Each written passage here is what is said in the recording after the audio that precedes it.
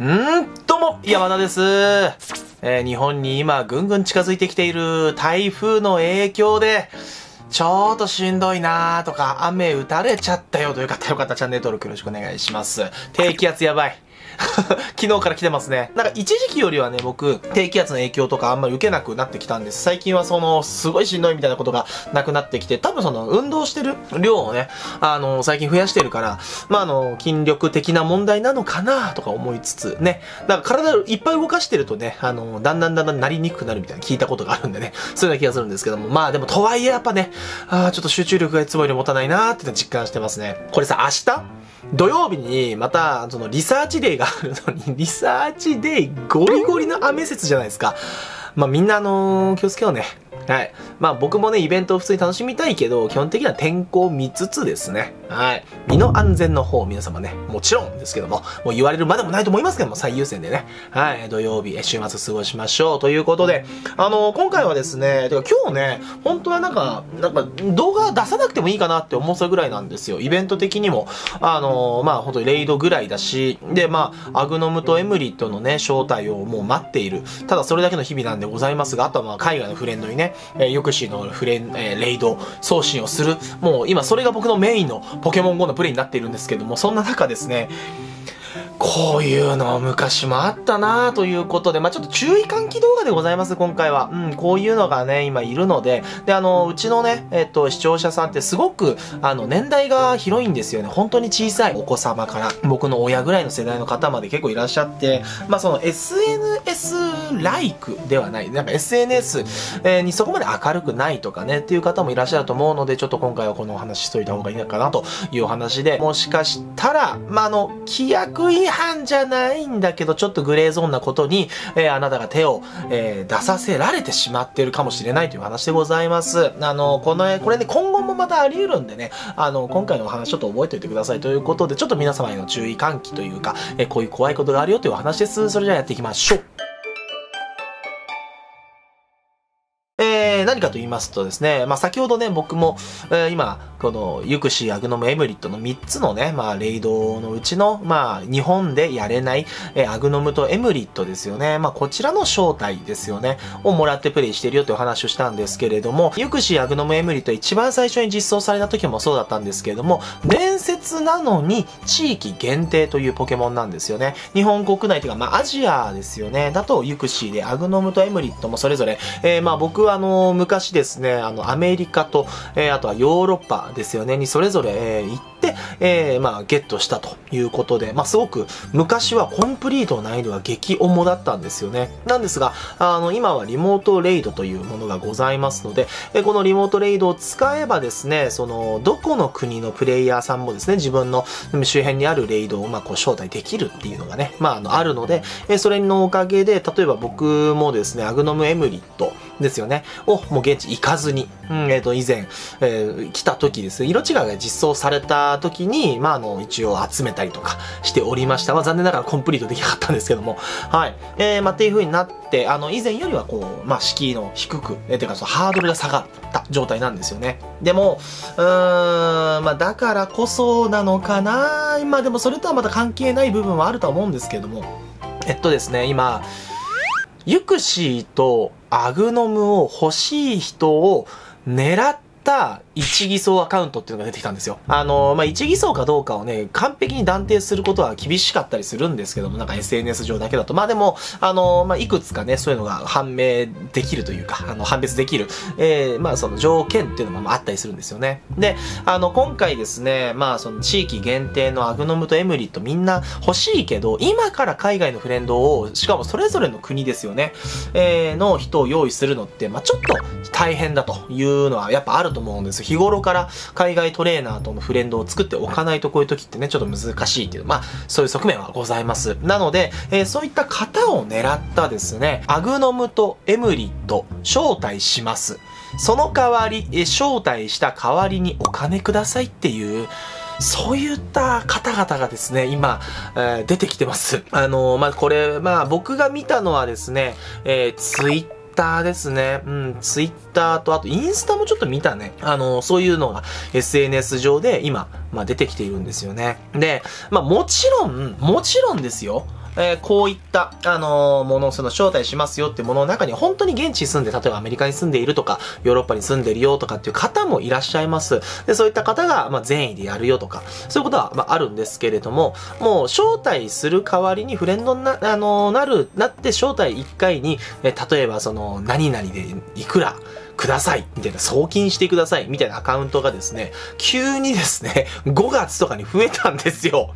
もうね、言っちゃうんですけど、僕の中ね、リプライとかに対しては、いいね欄とかをね、まあ、たまに見たりするんですよ。そこになんかあの、何々招待赤みたいな、いくらいくらみたいなやつとかがもういて、うわ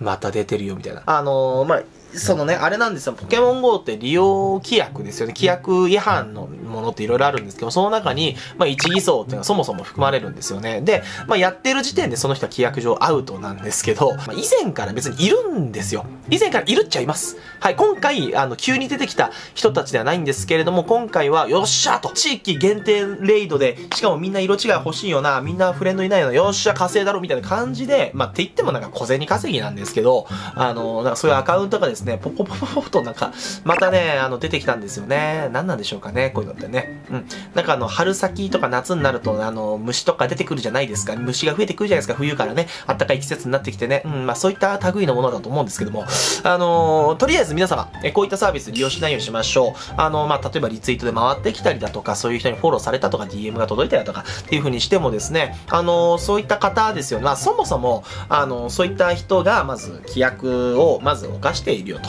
で、儲けるためにやってるよと。っていうことなんですよね。で、まあ、例えばじゃあその、それを分かった上でそれを利用することは規約 NG なのかどうなのかみたいな話になってくると、まあこれ厳密にはちょっと何とも言えないと思うんですよね。あの、ナイアンティックはそれは規約違反だ、お前のアカウントはバンだみたいな感じでやれるのかどうか正直分からない。難しいかもしれないんですけども、まあとはいえそういったアカウントがいて、そのサービスを使う人がいてしまうとですね、あの、まあそういった人だって減っていかないのでね。うん。で、まあそうですね、海外のフレンドを作るのって、まあハードルもちろん高いんですけれども、その今回の場合ね、ユクシーと、あとアグノム、エムリットってこれお互いにメリットあるんですよ。ね。だからその、ユクシーの招待をして欲しい人を探すとか、えー、っていうのをやれば逆に相手に招待してもらえるっていう、そういう関係作れるとは思うんですよね。うん、まあそのやり方もいろいろあると思います。英語で、例えばユクシー探してる人探すとか、うん、英語、ユクシー、英語でそのコピペして、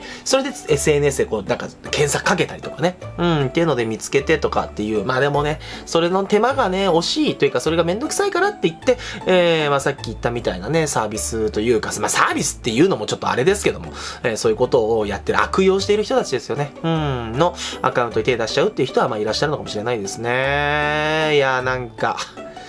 ほんとどこの界隈にもいるなぁと思いますね。うん。